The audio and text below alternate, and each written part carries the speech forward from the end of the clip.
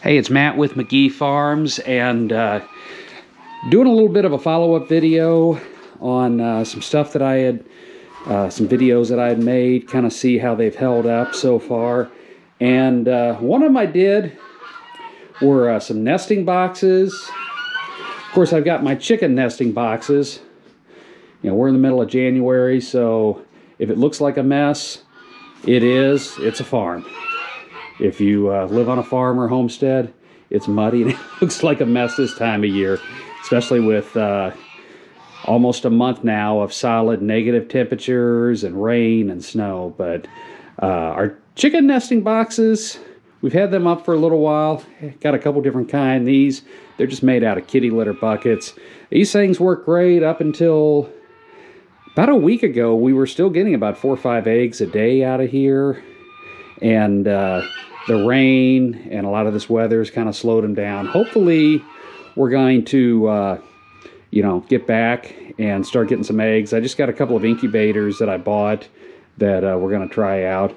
Our other nesting boxes, we've taken these from uh, an old chicken house that we had when we tore it down.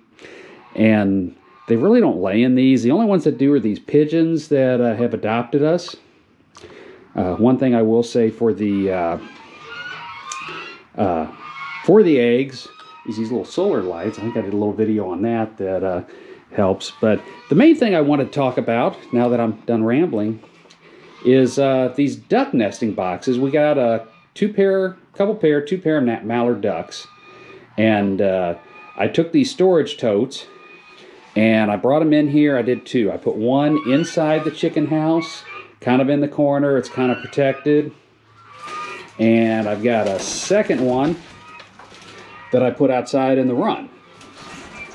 So I figured this is going to be the one they're going to be going in, and we're going to be getting all uh, all kinds of eggs once they start laying. And uh, what happens with this? Well, the ducks and the chickens and the geese all stay in the same house, and the chickens go in there and they take all the bedding out, and this one has not gotten used at all. And I was kind of thinking a little bit. I was I was thinking, well, you know what? Maybe I need to go back to the drawing board with these. But if we walk out here to the chicken run, or to the outside run, this one, it's kind of out in the weather, not in the best uh, best location, I would think. But when I was looking the other day, all the straw is in there. And we got five duck eggs in there. So this one is working, this design, they seem to like. Uh, I see one of our hens in here quite a bit the last couple of days, actually, because I was trying to figure out who's laying the eggs. And uh, it's our little, we've got one pair that are mallard, and then we've got another pair. The male is mallard, the uh, female is half mallard, half uh, blue Swedish and uh, she's the one that's laying in here. So we're getting eggs from it. I was debating whether to take them out and try to incubate them, but she's starting to sit on them a little bit, and she's laying more, so I'm hoping I'm going to let her try to do it naturally if we can. If not, I might try them in the incubator. It's still a little early in the year. It's uh, the 27th of January right now, and usually I don't start incubating till about Valentine's Day, but I don't know. I got the uh, incubators in. I think I'm going to start pretty soon. We'll see. But that's an update on our nesting boxes, especially the duck nesting boxes, which is the main point of the video. Uh, there's a video that uh, I'll try to link to. Uh, actually, I've got it set up with some of these videos to where at the end of them, uh, some other videos will pop up. And I'll try to link this one so you can see where I was making them and putting them out as well. So hopefully that uh, this helped you out.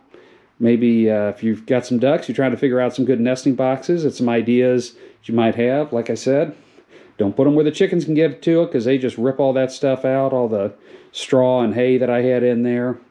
But uh, out in the runs where the chickens don't go, the ducks seem to like it in the nastier weather. It's Matt from Magee Farms.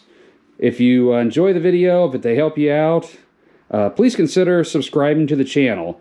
It helps us out greatly. I appreciate all our subscribers that we've had up until now. And uh, going forward, all the future ones.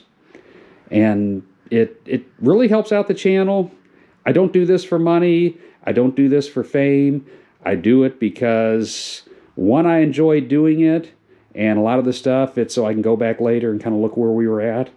But also to help other people because I do uh, go through YouTube a lot, and a lot of the things I've built on the farm over the years, I'll watch videos and take from their ideas and kind of use them a little bit. And if I can help somebody else out, it uh, that's the main point of this channel. But subscribing, watching to the end helps with algorithm, and it suggests the videos for more people to watch, and it just uh, it helps us grow, helps us get out there a little bit. If the channel, you know does start making money at some point, then uh, most of what I make is basically going to go right back into different products for different builds. And we got some exciting builds coming up this spring and this summer, so definitely stay tuned. Till next time, it's Matt with Magee Farms. Have a great day.